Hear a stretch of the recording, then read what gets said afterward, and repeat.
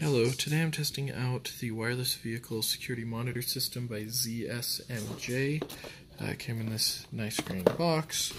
Uh, you've got, I've just plugged it here to a portable power just to test it out with the 12 volt. So I've connected both the uh, camera here and sorry, the screen and the camera are both connected here to the same outlet just for testing purposes. But you can see there's an antenna on the back of the monitor and another one connected to the wireless box here which goes around and connects to the camera.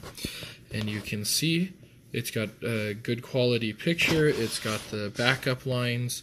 So if I was actually having it mounted you could get an idea of how far objects are behind you.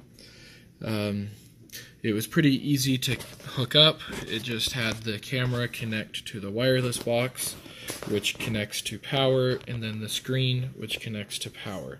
So when connecting it to the car, all I'll have to do is find a place for 12 volt power near the camera, and for 12 volt power near where I want the monitor, and it'll be a really easy setup as long as I have power in the back of the vehicle.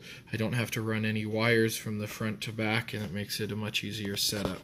Uh, you also have a 4 inch screen, which is relatively small, which is good for smaller cars or trucks that don't have a lot of windshield view where you're trying not to mount it on the dash or the screen but without blocking too much of your view forward.